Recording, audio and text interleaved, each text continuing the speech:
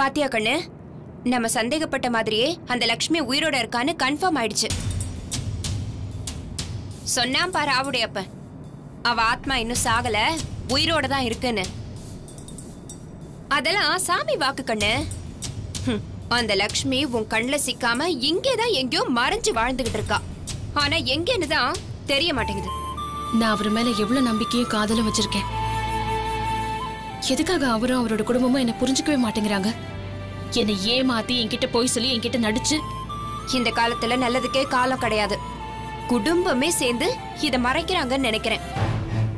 கரப்பாம்பூச்சி மாதிரி இருந்துகிட்டு நாம என்ன பண்ணாலும் தப்பிச்சு அவ உயிர் பொழைச்சுக்கிறா. அவளை என்ன செய்யறதுன்னு எனக்கு தெரியல. எனக்கு வர கோவத்துக்கு.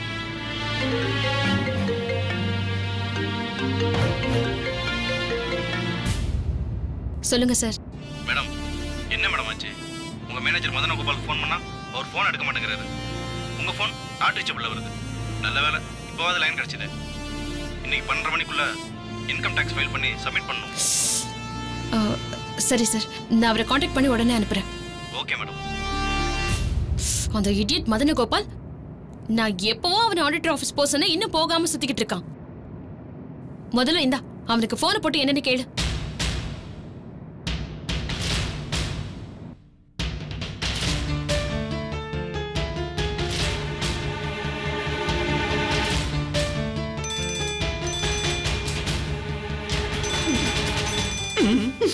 ஐயோ.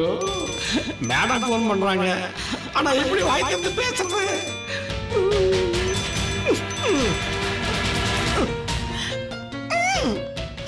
எங்க இருக்கீங்க?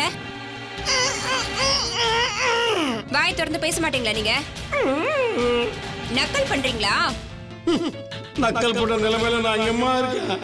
என் நிலைமையை பார்த்தா நீயே பரதாபப்படுவ என்ன? பேச முடியாதோ? என்னவா?